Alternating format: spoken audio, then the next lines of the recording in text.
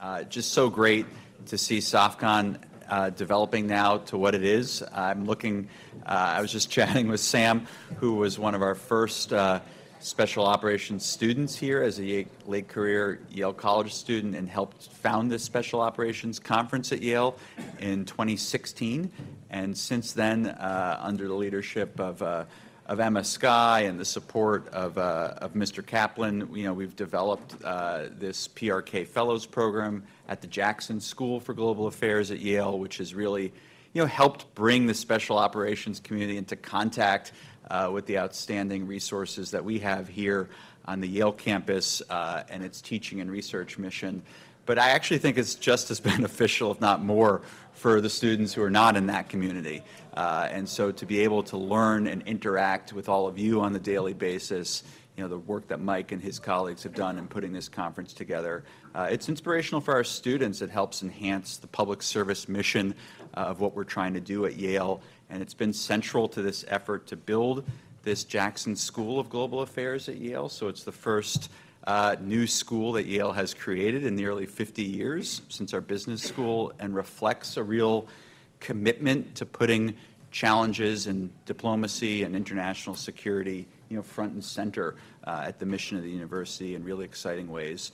Uh, I'm Ted Wittenstein. I teach at the Jackson School and at the law school, and I oversee our International Security Studies program here at the Jackson School, which includes Um, what we now call the Schmidt Program on Artificial Intelligence, Emerging Technologies, and National Empowerment. And so thanks to Dr. Schmidt, he has really helped resource our teaching and learning, uh, an interdisciplinary approach to thinking about how AI is changing the nature of world order. I see a number of students who are in uh, a few of the classes that me and other mm. colleagues uh, teach at Yale in this space. And it's hard because it's such a rapidly changing field, and it's hard to predict even what another six months of ChatGPT X or something will bring, uh, as the number continues to change.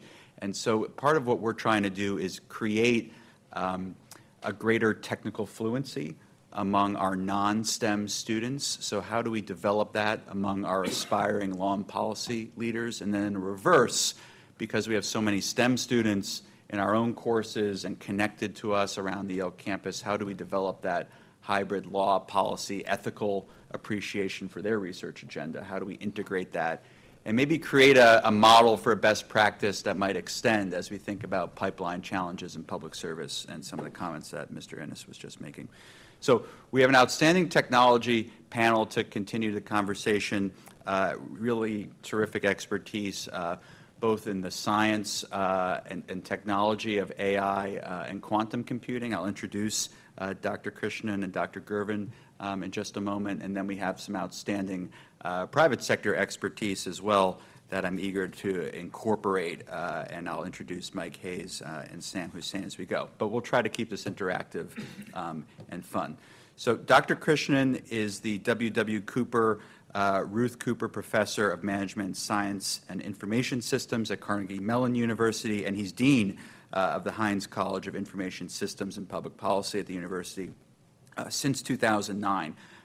He's been a faculty member as well in engineering and public policy. Really embodies this connection of hybrid tech and policy fluency that we need to grapple with AI Uh, and the risks and opportunities. Uh, he's a member of the National AI Advisory Committee. As many of you know, this is a national-level effort to try to harness best practices uh, from academia to inform government thinking. So I wanted to start with some comments from Dr. Krishnan on how he thinks about AI, both the risks and opportunities, in particular, its relevance to this audience. I was struck. I liked Mr. Ennis's comments about Uh, being wary of people who try to sprinkle AI dust uh, on everything. And you've uh, given a lot of thought, Dr. Krishnan, to what it really means to develop a full AI stack, really the significant components, both from hardware all the way through data and algorithms to integration to human people. And so just give us a sense of how you think about and scope this challenge. What concerns you most about the current environment, but also, what are some of the opportunities that you think might be of of relevance to this audience? Thank you. Thank you very much. Thank you, Ted. pardon the hoarseness in my voice. I sort of seem to have allergies. Uh, so, um, uh, so thank you again for the invitation to be here to Ash and uh, to Ash Rajaraman and uh, to Mike uh, to invite me to come here. Uh, it's been a great learning experience listening to speakers this morning. Um, and um, as Ted was talking about um, what Yale has put together here with Special Operations Command, we have a similar relationship at Carnegie Mellon uh, with the U.S. Army. Uh, there's an Army AI Center at Carnegie Mellon. Uh, the Army Futures Command sends um, uh, officers uh, for education at Carnegie Mellon uh, in AI, and we also address senior leadership, one stars, two stars, on data-driven leadership, and I can speak to that as an important aspect of the human capital aspects associated with the discussion that we've been, that we've been having.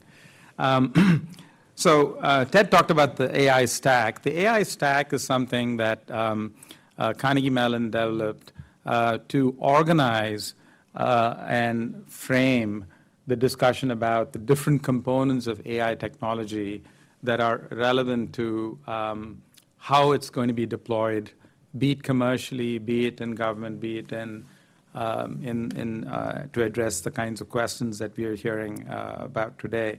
and it ranges, and it, in some ways, for those of you who are very familiar with the, the OODA or OODA stack, the observe, um, you know, the, each of these different elements of that stack. The AI stack is sort of organized similarly. At the bottom layer is the sensing or perception layer. Uh, and increasingly, that layer um, is in hardware. Um, and this is about audio, video, uh, multimodal text-based uh, perception. Um, and that, those signals that are perceived are then, that, that's equals to the observation, uh, the OODA stack. Um, and that perception then feeds into a signal processing um, layer, which tries to make sense of what's uh, being actually perceived. Um, and then that then feeds into this learning layer. And for a long, long time now, I mean, there's been tremendous developments in the learning stack, uh, which in itself, um, as you know, has, has had tremendous amount of progress, particularly in the field of deep learning um, and neural network architectures.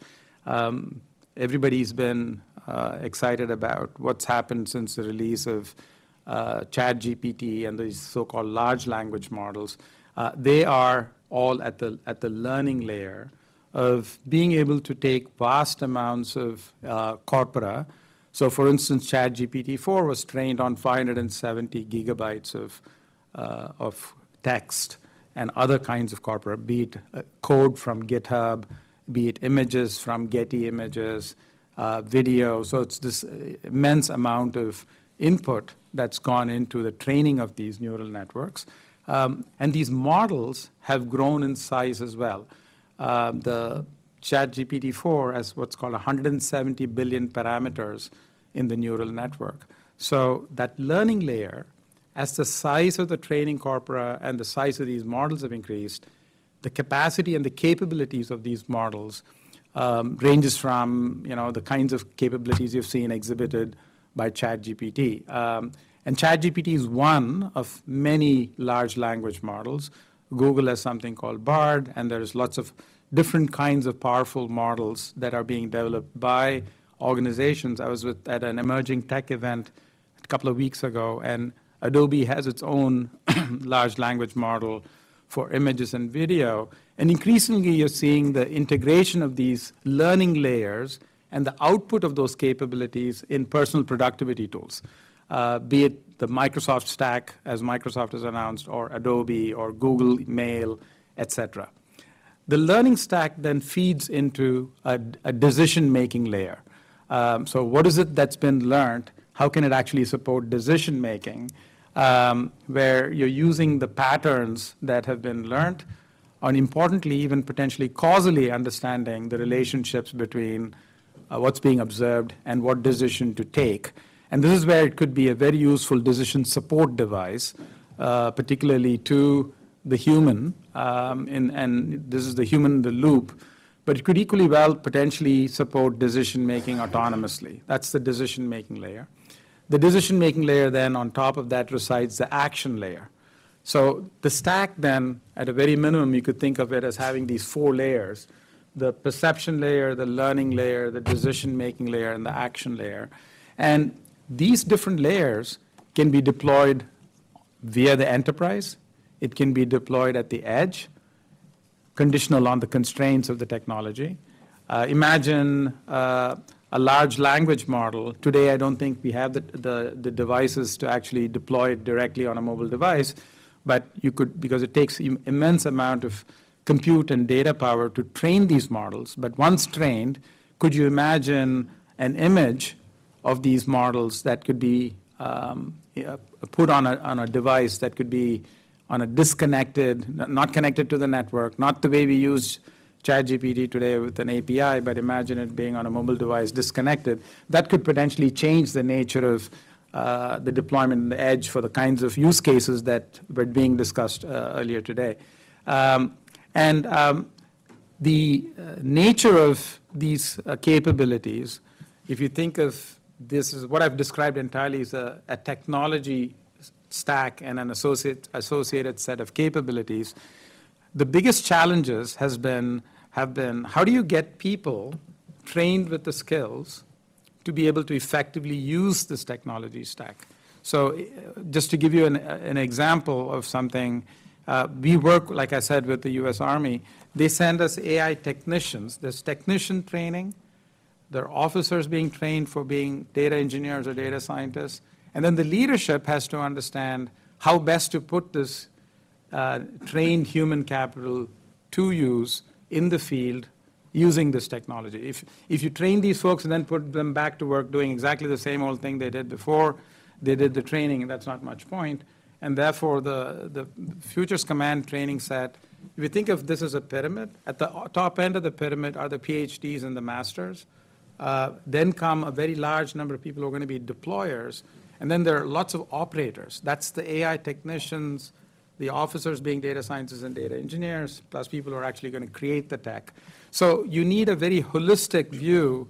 And I think of this as a human capital stack that has to stand side by side with the technology stack uh, to actually get the most value out of this.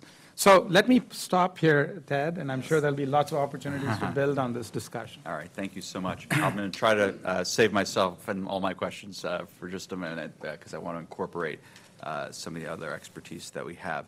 So just shifting from AI for a moment uh, to quantum computing, I was also struck uh, by Mr. Innes's comments about you know just the challenge of grappling with emerging technologies uh, with unclear time horizons and impact. Uh, and quantum computing strikes me as an area where this is a particularly acute challenge. So uh, very grateful to have uh, Dr. Girvin with us. Uh, he's been a member of the Yale faculty since 2001. He's the Eugene Higgins Professor of Physics and Applied Physics. Uh, he's had some significant university administration roles here, including as uh, deputy provost for research, kind of overseeing uh, Yale's overall uh, strategic planning and resource allocation and personnel decisions with respect to the sciences across Yale. Uh, and he returned to this to full-time teaching at Yale in 2017.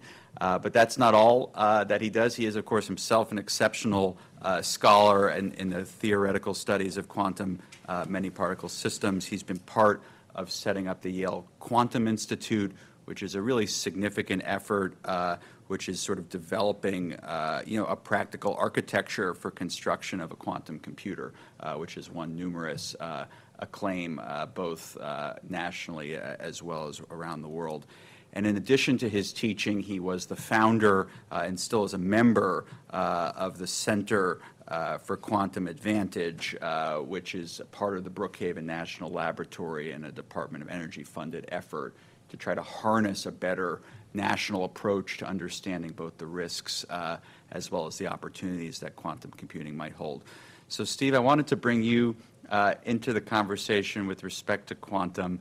Uh, you know, this is an audience with varying levels of knowledge about this, uh, promises as well as uh, all sorts of hyperbole perhaps as well that's been out, been thrown out there before. So maybe help us think about what you see as the most, uh, you know, significant applications of quantum computing, uh, and their national security implications, both benefits and risks, and, you know, what uh, a military audience uh, should know and start thinking about as, as you grapple with the timelines uh, and your outstanding research in this area. Sure. Thanks very much, Ted. Um, So you guys have been throwing a lot of acronyms at me today, so I feel like I should start with a, a little bit of vocabulary and maybe some historical context about what, what is this all about. So, um, you know, the, one of the main pillars of physics is classical mechanics, the, the theory um, of, invented by Isaac Newton more than 300 years ago for that determines, you know, the orbits of satellites and missiles, um, the, the orbit of the moon and so forth. It's fantastically successful theory. Um, and, uh, but it only applies to, to sort of large objects. Something goes wrong when you get down to the scale of individual atoms or individual electrons. And uh, we needed a new theory beginning about 100 years ago. Uh, the quantum theory was invented. Uh, and that led to what I'll call the first quantum revolution, beginning a century ago, that brought us the transistor, the laser, and the atomic clock, which led to GPS. Uh, and the entire 20th century technology revolution was built on these first quantum devices. But there's now a second quantum revolution underway. It has huge promise, maybe uh, a lot of hype for sure, very uncertain uh, timelines. But it has the potential to be, uh, in- uh, possibly as big a revolution as the one that brought us the 20th century tech revolution. And it's based on a, not not a new theory of quantum, but a new understanding of this 100-year-old theory and the role of information content in quantum states. And we now realize that the transistor, the laser, and the atomic clock, while quantum machines, they don't harness the full power that is actually available in quantum machines and quantum technology. And uh, so the sort of three use cases that are relevant to this audience are quantum sensing. It turns out in, in the quantum theory, you have to think deep, deeply about what is a measurement, what is detecting something. And it's more complicated and subtle than in classical physics uh, because when you measure something, it, it changes. But it's important to you for the detection of extremely weak signals. Small magnetic anomalies uh, near, uh, overhead above submarines, uh, gravitational anomalies over uh, caves and mountains, um, uh, weak radio signals, et cetera. Um, the kind of quantum limited amplifiers that we build for our quantum computers could easily, de- uh, they work in cell phone frequency ranges. They can easily detect, uh, uh, or perhaps even be overloaded by a cell phone on the moon. Um, The second is quantum encryption and communication. Current cryptographic protocols are more or less uniformly based on the difficulty of some math problem, solving some math problem. Uh, Quantum encryption uh, i- security is based on uh, our inability to violate the laws of physics. It's a different, um, different setup. And then finally, quantum computation, the ability to process information in completely new ways uh, compared to tradi- traditional, what I'll call classical computers. It's a completely new model of computation. Certain uh, problems which uh, computer scientists classify as uh, difficult or exponentially hard as you raise the size of some database are uh, not necessarily exponentially hard on if you have, if you can build a um, quantum computer. So it's not, it's their, their advantages do not come from having a faster clock speed. Often the clock speed, at least today, is slower than the highly developed, uh, rap, fast classical computers we have today. But it's a completely different model, which for certain classes of problems, uh, they can be solved more readily on quantum hardware. Uh, So for example, uh, we're- we're, in, you only need a few thousand quantum bits to do something extremely interesting and powerful with a quantum computer. You don't need um, the kind of scale of uh, of terabytes and things that you have in today's computers. On the other hand, we don't even have that yet. We're in the very early stages of the technology. The technology is um, imperfect, makes lots of errors. The, the number of calculations we can do or uh, ca- uh, calculational steps we can do before an error happens is very small, uh, um, uh, a few thousand perhaps today. So a grand challenge is to figure out how to do error correction. We also need to have a greater understanding of what kind of algorithms uh, can be invented that are, what, what kind of problems can be solved uh, more efficiently with this hardware. We understand something about um, optimization problems and simulation problems and um, machine learning classification problems and things like that.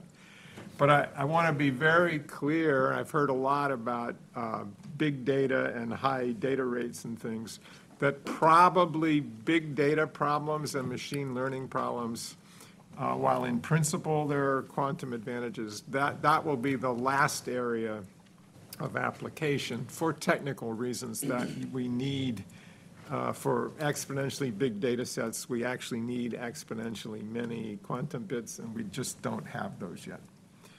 Um, In terms of timeline, um, quantum sensing and quantum encryption are here now. I mean, there are even companies you can purchase from, uh, but with lots of limitations in terms of uh, uh, bandwidth and lack of uh, being uh, portable or battle-hardened and so forth. But the, the technology uh, is here. Computation, I don't know. Uh, I'm, I, I, I've been saying at least 10 years for a while now.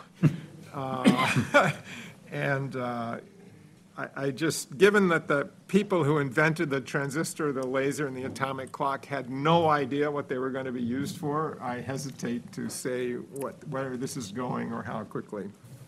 Uh, And so I'm reasonably sure there are going to be, you know, just as there were AI winters, there are going to be quantum winters. But I'm, I'm somewhat optimistic that the government is presently taking a pretty sensible, all-of-government, long-term coordinated approach to investing in this research area.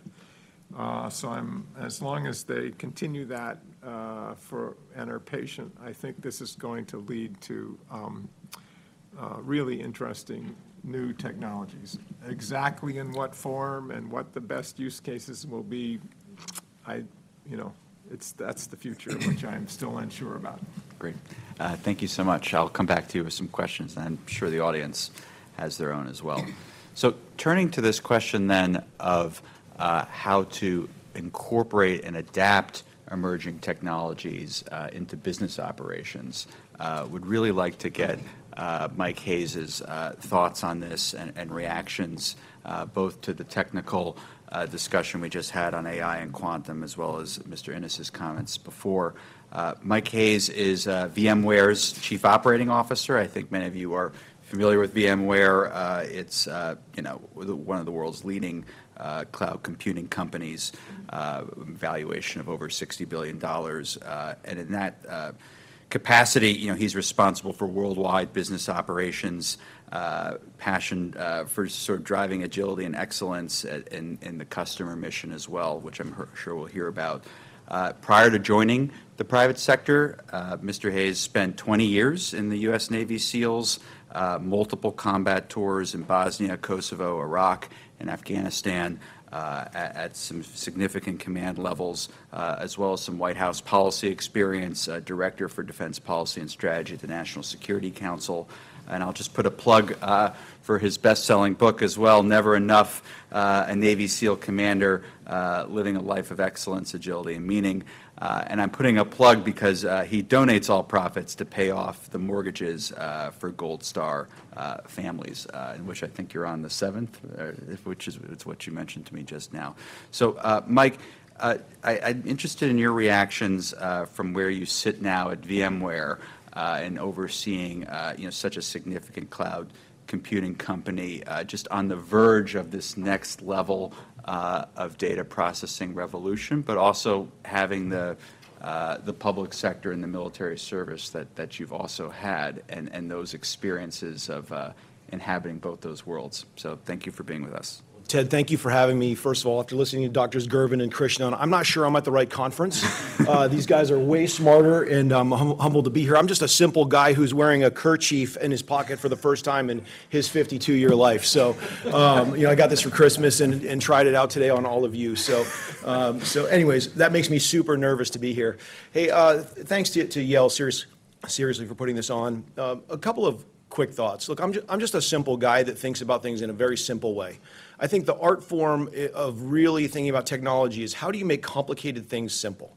And um, for me, when I'm running the you know global operations for VMware, I really think about uh, things in a couple ways. First of all, uh, what I would say is is technology is awesome, but keep in mind that technology is a means to an end.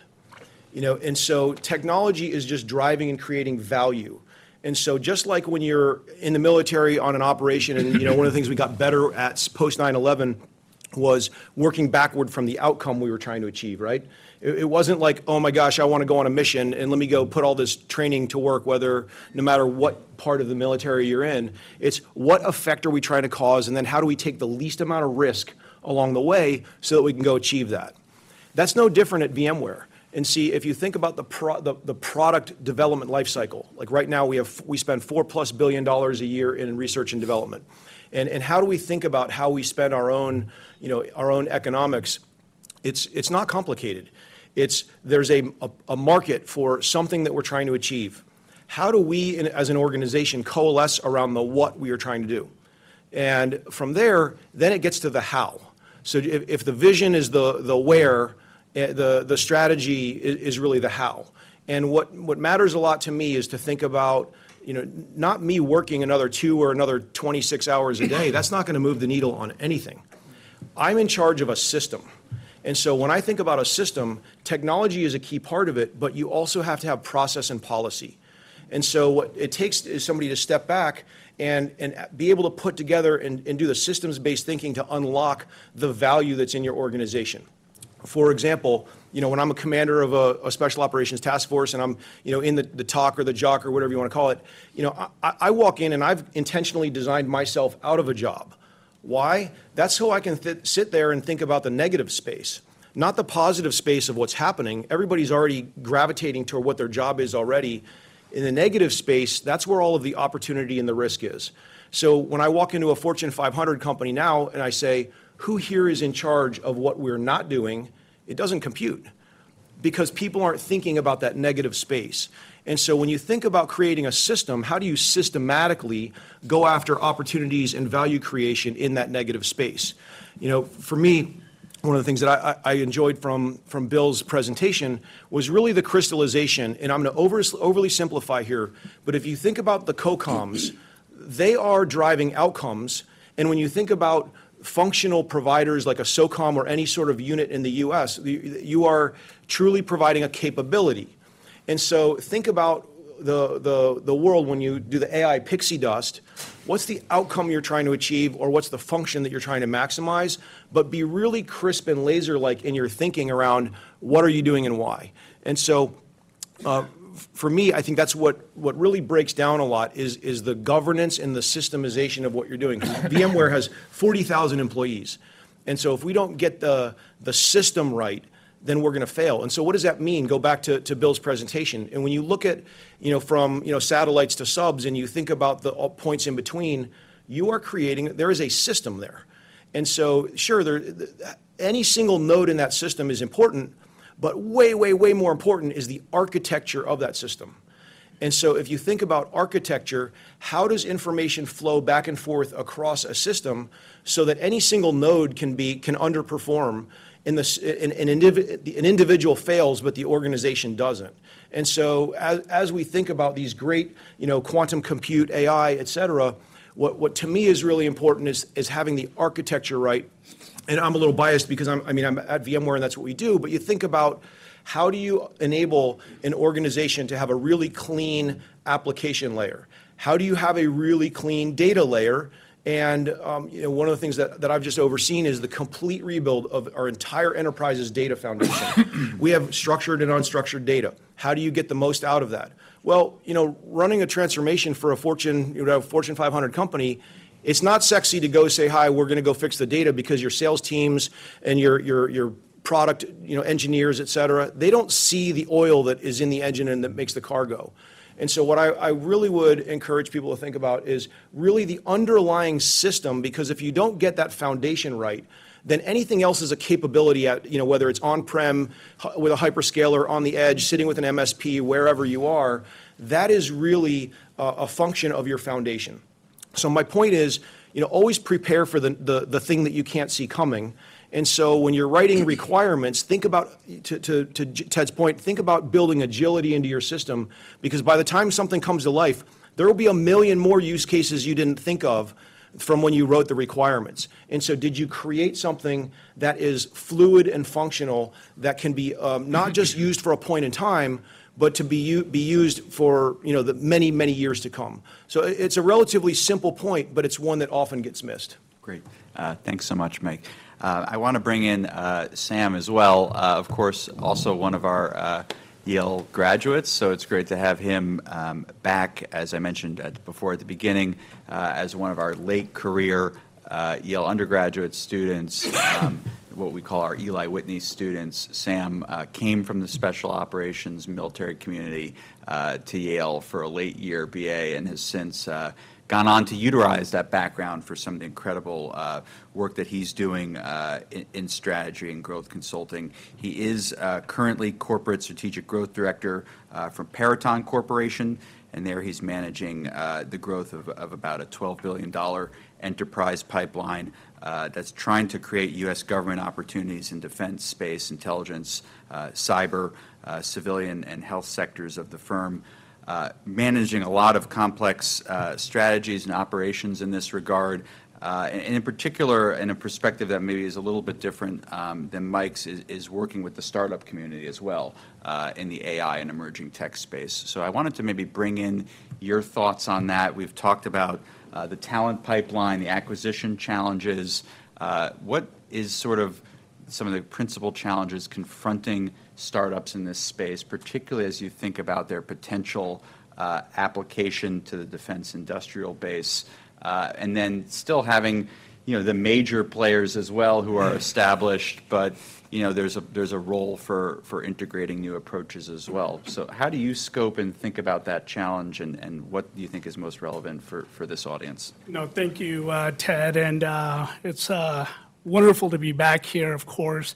But before I begin, I just want to give a big shout out to Mike for putting all this thing together. I know it required a lot of hard work because I've been there, brother. So no, thank you. So I just want to give a round of applause to Mike. And Jill, and Jessica, and Yes. There you go. Yes, Definitely. Thank you so much, and, uh, and Ted, you and uh, the leadership here at Jackson as well, thank you for keep on uh, hosting these events as far as it is so crucial for our national security to have these engagements happen every year, uh, to really get that going. And, you know, there's the thing that I'm seeing right now in Washington is that the need for innovation. Every command, every PEO, everybody's coming to the industrial base and saying, hey, guys, give us real innovation. We don't want the repackaged solutions that you guys have offered for the last 20 years. What is happening? Where is this innovation coming from? And one of the things that I've been leading is really the outreach to the startup communities, companies, two, three-man operations, brilliant computer scientists, quantum physicists, et cetera, that are trying to do business with the government, but don't have a cage code, don't have a facility clearance. How do you get involved with working with the Pentagon or the IC? So, uh, you know, there's many companies that are leading those uh, initiatives, and, and I have to say, the Pentagon has done a great job with DIU and establishing an office down in, uh, in the valley and everything, which is moving the needle, but not fast enough. So we're actively looking at firms that can provide uh, solutions, niche solutions, uh, to really sit on that overarching uh, capability set that is affecting us, like near peer and all this other stuff that's happening, but also the unexpected type of issues that are arising. Just these days, I mean, recently, we saw the balloon fiasco that was happening across Montana and everywhere, and everybody was like, how can this happen, that a Chinese balloon or is able to come into our air- airspace, et cetera? hey, you know, that's what electronic warfare is all about. What are we doing about creating those electronic force fields, et cetera? There's a lot of research going on, and I'm currently working with the good folks at uh, Georgia Tech uh, Research Institute. They're doing some great work out there, and that's actually being implemented at certain areas with AFSOC, et cetera.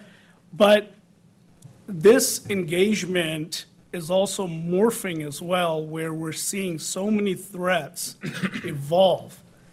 And the next generation, or the current generation of operators need to be hybrid trained, in my opinion. They need to have core capabilities, not expert level, but at least conversational level at OSINT, at even human. I'm a human guy. And uh, I think it's very important when you're out in the field, if you're disconnected, you can still function and sustain in that environment individually. And that is very crucial. That is something that I'm very uh, pushy on with the folks down in Tampa and Bragg. And I really want to see uh, those expertise develop and being trained for the operator so they're never dependent on one individual back at the HQ level. But at the same time, I want to say that all the stuff that's happening about uh, AI and ML and everything, that's all great. But we should not forget the basic fundamentals as well. Human is key. I'm going to put a plug in for human just because, uh, because we saw this in the 90s and the 80s. Just because as the 80s, we, you know, we were launching all these satellites and everything. Hey, no, no problem. We can see anything from anywhere. Great. But we couldn't tap into the terror networks in Philippines, et cetera, in Pakistan, Afghanistan areas. So we need to keep that capability alive, but at the same time, we need to increase and reduce this talent drain that we're experiencing within the NatSec community, that we need to recruit individuals, and recruit the next generation, and not just talk about, okay, hey, we're going to recruit from these communities, et cetera, but also be competitive about it, right? And recruit, you know, there's a thing, hey, give, incentivize, but also expedite. Facebook or Google gives an offer letter and you start Monday. Clearance level at the NSA is going to take a year. That kid is not waiting. They're not waiting. And we're losing individual, we're losing talent that way. And that is a big concern right now. I was sitting with um, Rob Joyce not long ago, and I was like, sir, you know, we have to pick this up. We have to have programs at colleges that are immediate hires that are helping be the next coding or mathematicians, et cetera, at uh, the National Security Agency because it's so crucial. And um, it's something that is very concerning. But on the tech side, specifically speaking, one thing that I'm very excited about is space. All the stuff and activity that's happening in space these days. Just on Sunday, we launched um, uh, the first tranche uh, program that's happening. CubeSats, they're amazing. I think that's going to be a game changer with the ISR platforms to provide that continuous monitoring that's going in a hybrid platform, in a hybrid model where you're looking at a target, but also you can launch assets to, it doesn't require long flyovers, et cetera, within the Indo-PACOM region specifically. But uh, these are exciting new, you know, technologies that are being developed. But at the same time, all technology is great, but if we don't have the people to out there execute these amazing technologies, that's a problem. And that is something uh, we need to keep that in mind. Yeah, please. Uh, Thank you so much. I'm going to ask a follow-up to folks here, and then we'll, we'll incorporate uh, all of your comments as well. Uh, you know, Dr. Krishnan, I want to zoom back in on maybe one or two of the layers that you focused on, namely at decision-making and action with respect to AI, because we did have a question from Mr. Bergen earlier about human in the loop, right? And so, of course, the Department of Defense has this new revised directive now on automation and uh, this concept of, meaningful control. And so, you know, just based on your own uh, research and, teaching and, the programs that, that you're building at CMU, you know, what's the right way to think about this question of human in the loop? We throw around so many of these terms a lot on AI, uh, responsible use, ethical use, meaningful control. You know, what are some of the, the best practices in your view in this space that are most relevant for this audience, which may be ultimately you hoping to utilize AI, you know, in human uh, machine teams, you know, to make you know significant uh, kinetic decisions. Uh, and so, just give us some thinking uh, on this question. I think that might be Thank particularly you. helpful. Uh, Thank you. Oh, there you It go. was, it was on, actually. Yeah. Uh, th- Thank you, Ted. Um, So, uh, so two things to keep in mind more broadly about AI um, is the technology, even though from what you read, you might think it's some magic button that will work perfectly all the time um, in all situations, and uh, that's not the case. Um, it, it's, it's really good oftentimes on narrow tasks. That's where it's been shown to be particularly good. Um, and it's oftentimes brittle when you start deviating from the data on which it was trained on. This is called drift. It's, there's this idea that you train a model on data, and if, and if what you're seeing in the world is not representative of what it was trained on, you might not get good recommendations, good decisions. So one is to recognize that robustness, brittleness, these are things to be really well educated about. So it's almost like having a, what these are often called data cards or model cards, where for every AI, there's a need to have metadata about, you know, in what range is this AI to be totally trusted? What's the confidence interval, if you will, around this AI? That's sort of a- an important aspect. Now, given the consequentiality of the decision that you need to make, I mean, if, if it's about popping an ad in, on somebody's computer, and if, I, if the AI made a mistake in showing you an ad that you're unhappy with, that's not super consequential. But on the other hand, if it's a consequential decision uh, that has to do with people's lives or the kinds of services you're providing them, or in, even uh, where people's lives are at stake and the kinds of situations that you all are engaged in, those tasks, the bar is very high in terms of ensuring, you know, are the values that uh, we as a society, you as an organization, have articulated, and this is where the responsible use part comes in.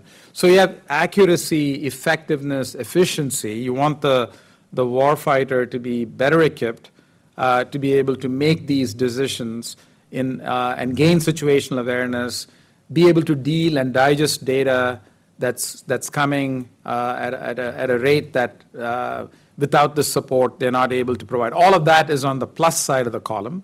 On the negative side of the column might be how do I trust what, what it is that this thing is producing?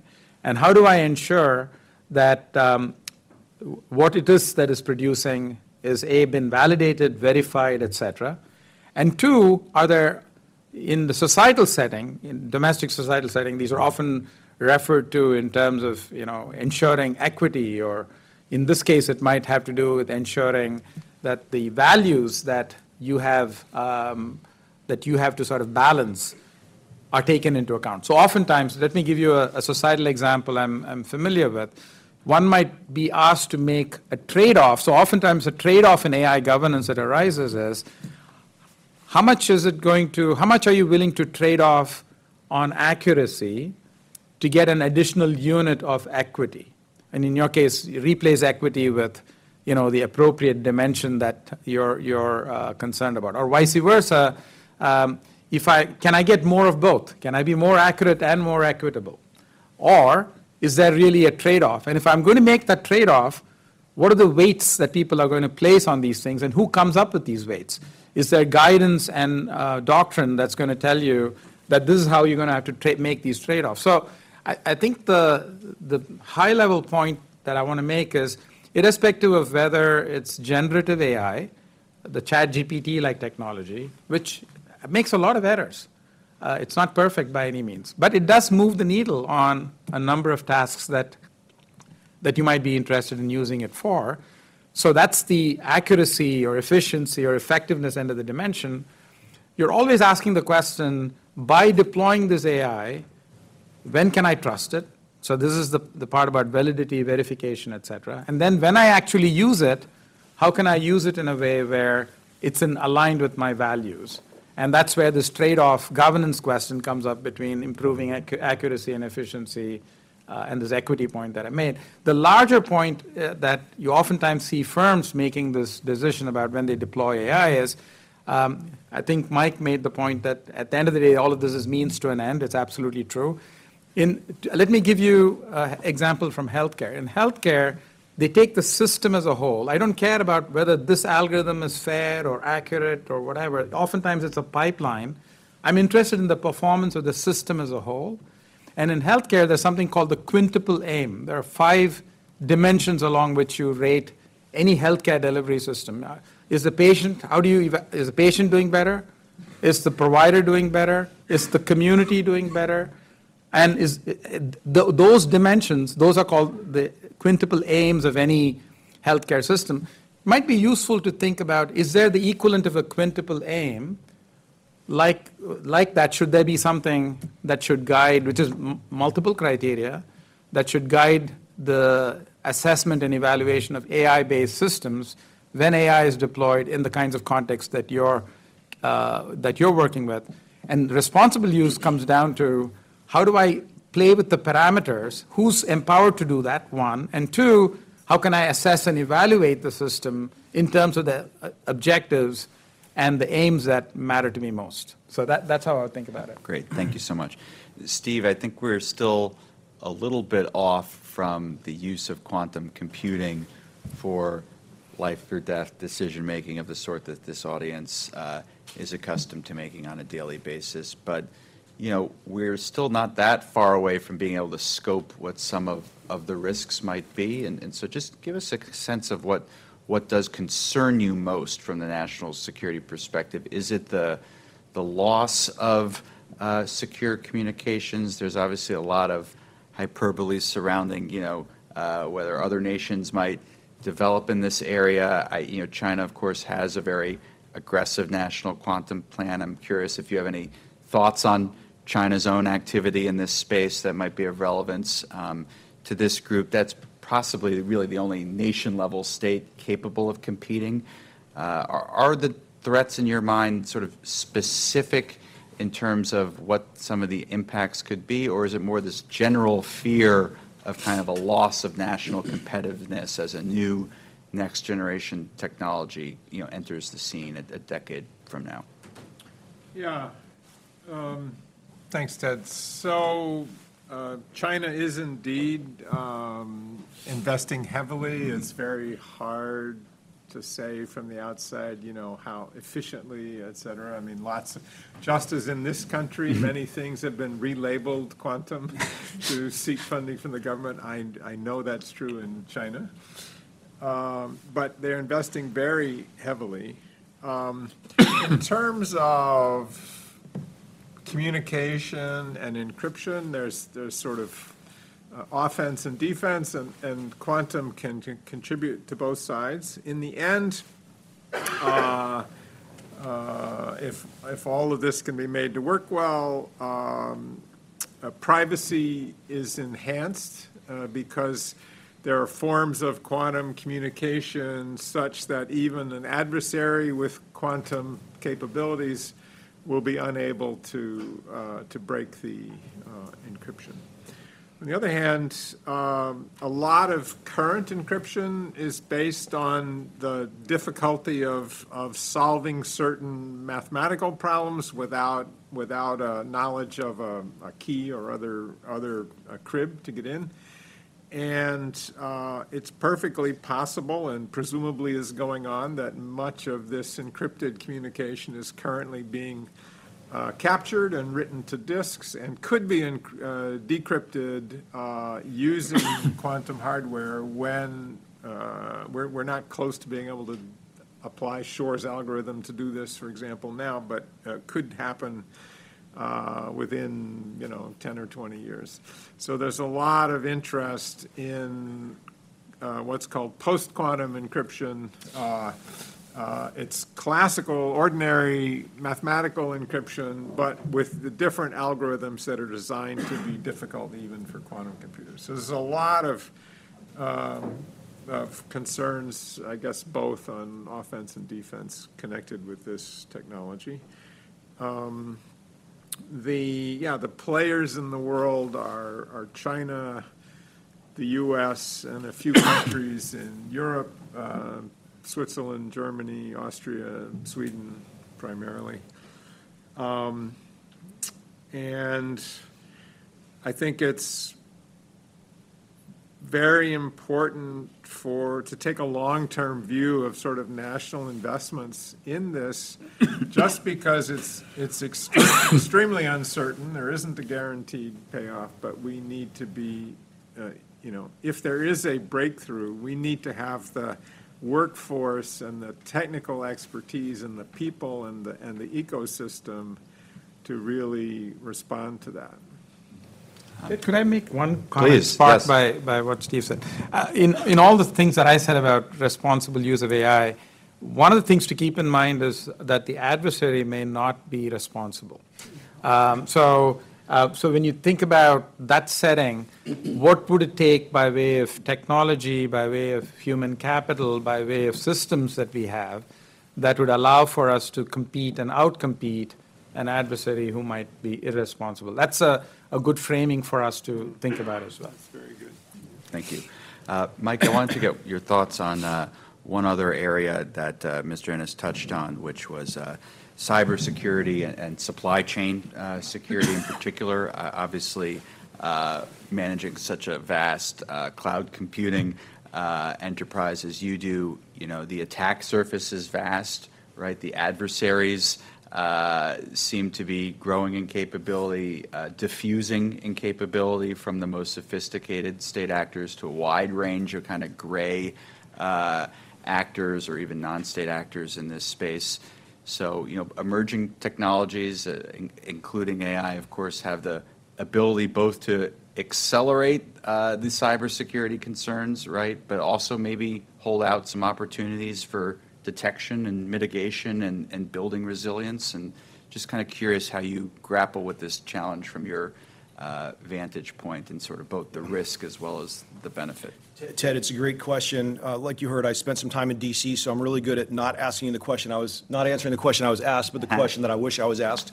Um, We'll come back to the cyber thing. I think there's an elemental point to what you're saying that, that is universally applicable to whether it's cyber or any other technology. You know, if you think back, you know, when the bicycle was invented, parents got really nervous that their kids were going to be able to go too far away and they were losing control.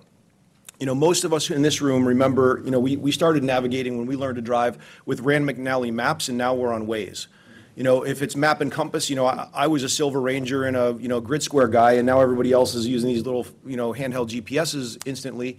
You know, we always have a, a little bit of nostalgia for the past.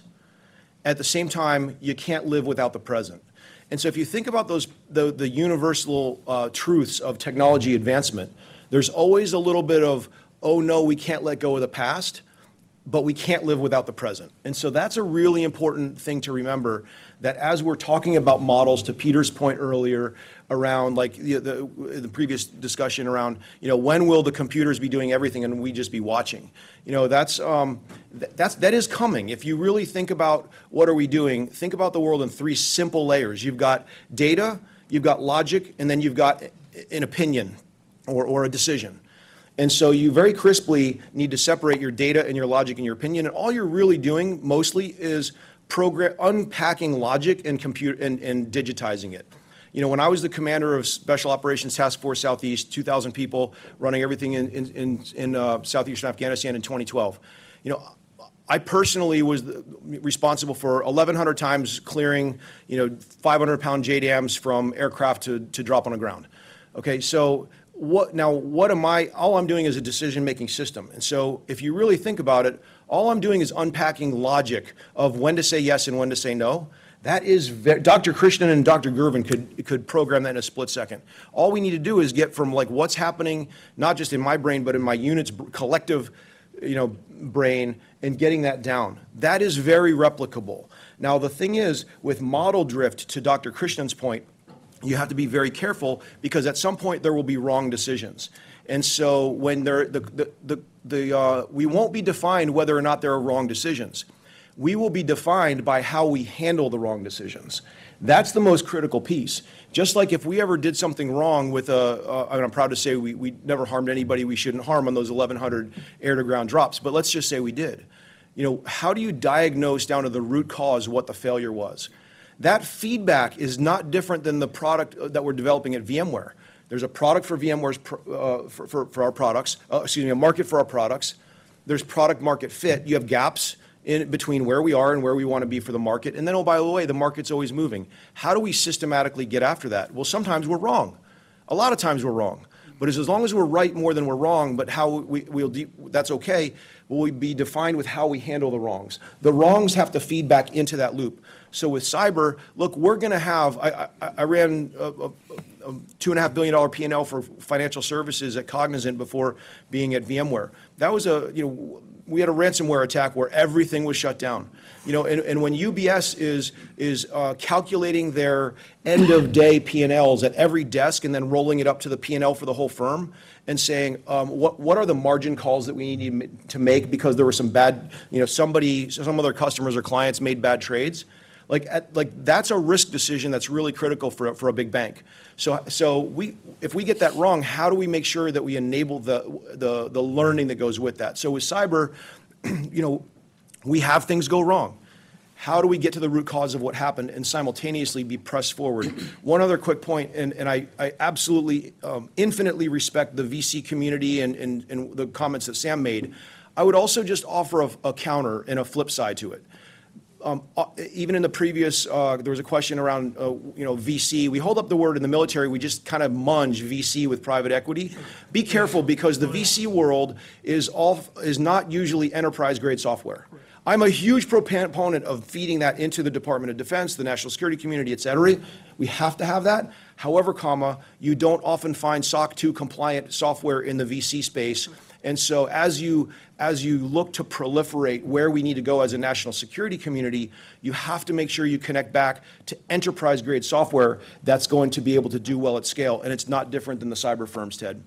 Well, I mean, uh, to your point, um, you know, there needs to be accountability, right? If, if a DIU vendor is developing a product that SOCOM is buying and it doesn't work, as we heard in the previous session, you know, there needs to be accountability for that with that vendor. Uh, That's where the procurement uh, policymaking is so crucial, that because these are NatSec level type of uh, threats that we're facing, and, and if that product were to fail with a unit in a deployed in a foreign enemy territory, wow, that kind of thing. And, and to your point, VCs are absolutely, they're looking at first go-to-market, et cetera, that kind of thing, and they're not taking, they're cutting corners in a way. Uh, But that's why, you know, our, the technical evaluation board needs to be just as where, I have to say, ATL is leading in a lot of ways with procurement and devising new mechanisms to provide that best technical value to the warfighter and holding folks accountable too. And, and they're doing that by bringing in industry experts to actually uh, examine that product that it- they're, you know, as a third party, not them. They're, they're bringing in some Yep. professor and saying, hey, sir, can you analyze this? And, and can I jump on that? Yeah, On top of please, that, please. sorry, the, um, to, if I'm in Bill's role, the thing that I really want to make sure is happening is you have two types of testing before you roll something out. There's quality engineering, QE testing, making sure is the engineering, have, have you run all the combinations and permutations of what can go wrong? And that, that is often short-stroked in, in any product company, they're, because you get compressed and you're like late, and that's the last step, and you're like, oh my gosh, how can we do what we were supposed to do in four weeks in just a week? I do that, just to be clear. And, and I get pushed against the wall, and sometimes I need to make a hard decision. Do we miss our deadline, or do we say, nope, we're gonna test for four weeks? Sometimes I choose one, sometimes I choose the other. But the other part of it that often gets overlooked is UAT, user acceptance testing. Mm-hmm. And so going back to your customers, your clients, and saying, all right, before we really harden this product, we want your feedback from a, a, a consumer perspective. And, and don't forget, the DoD, the national security community, is a consumer that can drive the development of products. Absolutely. And, and field testing too. Where is it going to be deployed? Will that product work in that d- deployment area? That is not happening, and um, we'll get better. Let's open it up to uh, questions and thoughts from the audience.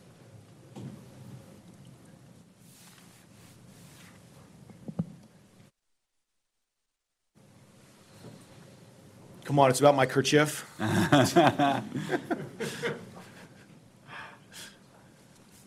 is AI dust, and can I have some?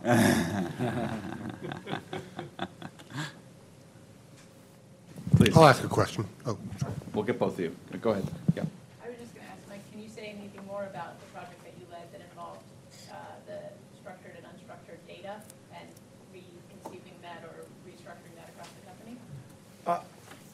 I can, and I'll be, I'll be quick and glad to take it offline. The, um, you know, VMware is a 25-year-old enterprise.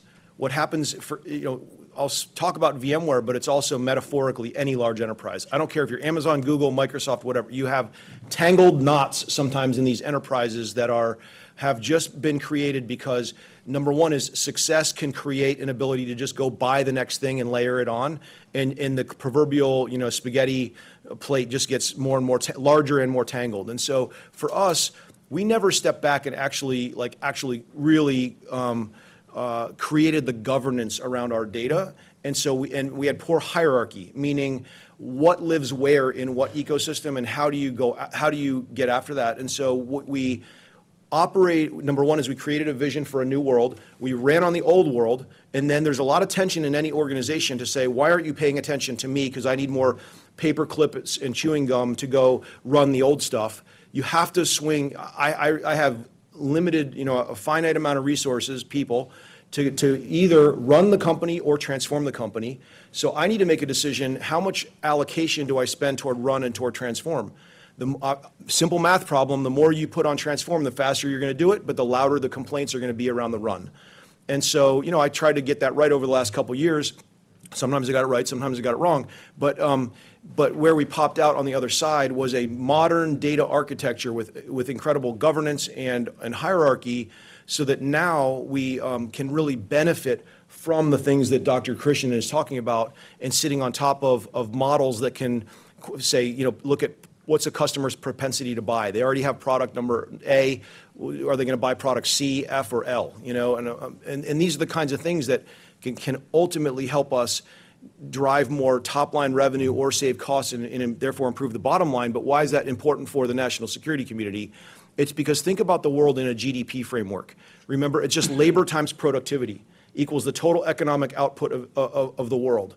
You know, there are a lot of us in here with incredible pasts, and you know, at the end of the day, though, we are we are largely commodities where our government can go buy more of us if they have more money.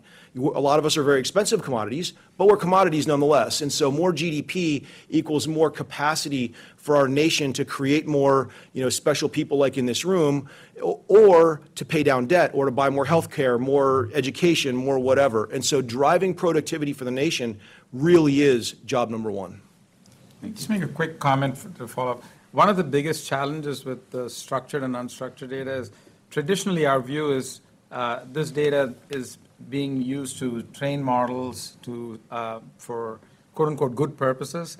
Um, But these data can also be subject to manipulation and become uh, a a type of a vector for attack.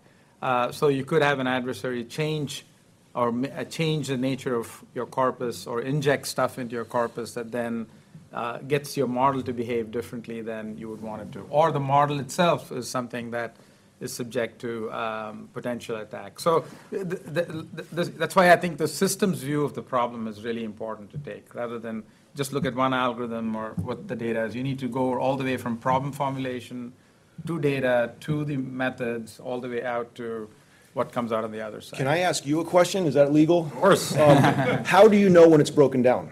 So the, the, the, the big question here is, when you have, um, this, so this is where you have to have, if you have ground truth, uh, meaning you know in some cases what the ground truth is, then the question is when there is variance, is there a way in which you can check back as to why the model is not working like it's supposed to? In the case where you don't have ground truth, this becomes a hugely challenging problem.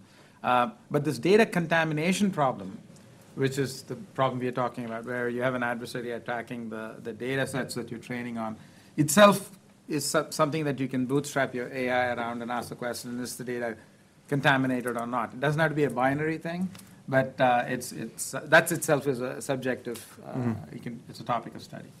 Well, I mean, data manipulation is so uh, crucial these days just because in the OSINT world, we're seeing the rise of deep fakes and everything that's happening right now. And tools are so important to effectively corroborate that report, if that is happening, or this is a fake report, or is this a real report? What is happening and what are the actual uh, core sources that it's being reported from? Because there's so much haziness and fuzziness that's happening on the news and what's on, my dad is on Facebook and he's like, did you see this report? I'm like, Dad, no, stop. You know, it's just one of those things because there's so much misinformation being pumped by state actors, but also commercial actors as well too. So that is something we need to So be the- cognizant The of. the challenge that Sam speaks about, I think, is when you have this type of misinformation getting pumped into the system, and that gets then added back into the corpus, then you get the training of these models being uh, affected by what's been added in. Well, like the hallucination of ChatGPT. That could be for altogether different reasons. sure. It hallucinates for other Yeah, reasons. but ChatGPT is just, it's uh, putting a re- response back in a very nice language, but it's also taking rumant as well that's out there from forums, et cetera, whatever, and saying, hey, this is, this is actually what's going on. No, that is not. Because right now, in the bottom, when that prompt does appear, you don't see any sources, right? But we're going to see ChatGPT also evolve. Right now, it's text-based, where you're reading it and you're analyzing it. But in like six months or a year or whatever, you're going to see a full video production of, I was joking earlier, Professor Girvin's six years of, you know, uh, lectures, all condensed into one hour, you know, with a AI-developed Professor Girvin. So it's just one of those things. It's, it's going to be revolutionary, but there also needs to be some safeguards, guardrails around it. And I know some countries are doing that. I mean, some countries have already, Italy, I think, was just banned ChatGPT.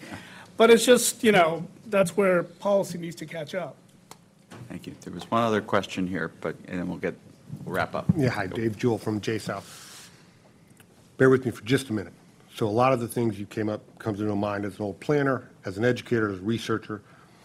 And uh, the secretary brought up the morning about wargaming uh, in the department usually starts at after deterrence has failed, where SOF's value is not the same as we propose it is prior to that. Done hundreds of types of war games in business, most of them that we use in, in, in the work, most of them are based on correlation of forces and means, some sort of attrition model of combat forces. So that clear data, clear logic, so we can get to Mike's opinions based on good research. In the conflict, the contest for influence in spaces such as, you were talking about disinformation, so MISO or PSYOPs, information support operations or civil affairs or expeditionary medicine. Is anybody doing this? Because I don't know. And if so, how can we tap into it using the tools of AI and machine learning to collect the data we have, to include at some level the excursion into some percentage that is, is misinformation, to apply the logics with those parameters that the decision maker set so you can reduce the ambiguity to a decision. One movement that I'm, I'm watching with fascination now is a lot of bespoke, bespoke wargaming in wargaming communities, uh, attributed with some of our PME institutions, everything, and they're fascinating.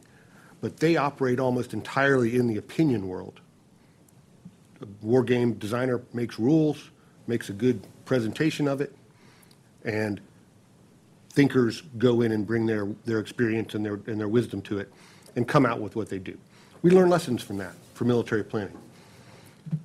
But how can we use AI to take what is a combat attrition model in conflict, like the old movie War Games, and apply it to in the, in the space to the left of battle for influence with partners and with, and against adversaries? So right now, you asked, uh, the first thing was that, are we doing this right now? Uh, The Office of Net Assessments in the Pentagon, they are doing this. They have some, uh, they have a pilot program that they're working with IARPA and DARPA right now, um, that is being uh, developed in such a way where it's examining all the wargamings that are, hap- that have happened with academic institutions, Columbia, et cetera. And uh, they're compiling all of that data and seeing how countries have reacted in the past and how they will react with the current core technology capability they may have and what the investments are. It's still in pilot phase right now, but I'll get with you offline and share some additional data with you. Thank you. If That's in the Office of Net Assessment. That's not over in the, the J7 world of the more traditional folks. Yeah, great. I'm, I'm excited, excited and interested in that. I was hoping the answer would be Uh, yes. Dr. Krishnan, final thoughts, any ideas on use of AI for simulations, war games, or maybe complex decision-making that might uh, occur in the future that might help us think about uh, strategic challenges? Absolutely, uh, including the context that uh, you raised, the, the, you know, the, the, how do you, so g- conditional on having crisp definition, definitions of what misinformation is, because what's misinformation to you might be just, you know, good information to me. Um, So as long as we have crisp definitions of what misinformation is, then I think the, the challenging um, issue really is that we now have technology, in particular, again, using these large language models that currently have been um, uh, created and made popular, they have two elements to them. The, the first part is what's called a transformer. The second part is what's called an adaptive fine tuner. The adaptive fine tuner is designed usually to take bias and toxicity out of the language model, but that same technique can be used to amp up the kinds of messages I could send to a populace to manipulate them to get max influence over them. In other words, I create different messages, run it by humans, and figure out uh, which messages have the most capacity to influence somebody. So um, what we then have is a, a machinery then that uh, has economies of scale and scope in terms of being able to send out over a network. So if you control some kind of a, so if you take TikTok or uh, a Facebook or an Instagram or any of these kinds of social media platforms, you have the capacity to flood these with messages. And it doesn't have to be just text. It could be, to Sam's point, it could be audio, it could be video. And I think we have a very interesting case study coming up. I think I was in an earlier presentation where there seems to be multiple elections coming up in multiple countries, including our own. Um, so I think you're going to see a very significant amping up of the extent of misinformation and disinformation being deployed on the internet. And I think it behooves us all, I think, to do three things. I think one, of course, is you know better technology to try and um, identify and classify and take out and weed out um, uh, this misinformation. The question is who's liable for it? You know, where, where does the incentive lie to remove that? That's one. The second, I think, has to do with educating people uh, to, you know, as, as, as Sam was pointing out, don't believe everything what you see on the internet. That's a long run kind of uh, effort. Uh, and, then, and then the third is being able to sort of um, take these types of, um, you know, this is going to be core to our democracy. So do you think about content labeling, just like we, when you buy wine, you know it comes from um, California or from Italy? Should, should content that comes from an AI engine be actually watermarked? Should it require content labeling? Should there be peer evaluation? You know, Wine Spectator says that bottle is a 93 and that bottle is an 89. So should you have peer reviews of content? So there are lots of different policy approaches one could think about as well, in addition to this, but it's a hugely complex problem, and I don't think there's an easy solution. Uh, and we've been dealing with this now for, it's getting close to a, a decade, um, and we don't have really good, purely technical solutions because this is a socio-technical problem. It's not a technical problem alone. So any solution is going to have to be a socio-technical solution. Absolutely. Uh, Please join me in thanking our panelists.